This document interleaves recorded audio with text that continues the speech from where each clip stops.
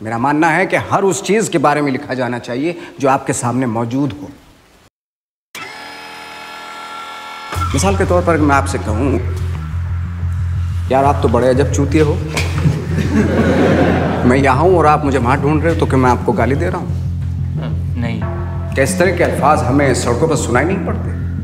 ये ज़रूरी है कि जमाने की करवटों के साथ अदब भी करवट। माफ़ी चाहता हूँ। पर मुझे ये लगता है कि आपके कई अफसाने मायूसी और अफसरदगी से हो। इन्हें तो कोई पढ़ के खुदकुशी कर देखो बखूटार तुम ये हरगिज नहीं जानते कि दूसरों को कैसा महसूस होता है। इसलिए आगे से सिर्फ़ अपनी कहना। मैं बनाव श्रृंगार करना नहीं जानता।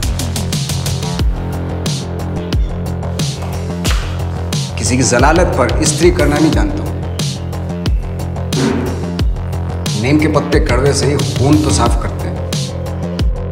मैं काली तख्ती पर सफ़ेद चौक इस्तेमाल करता हूँ, ताकि काली तख्ती और नुमाया हो जाए। कहानियाँ पढ़कर किसी भी नॉर्मल इंसान के मुँह से घटिया जज्बात की लार नहीं टपकती।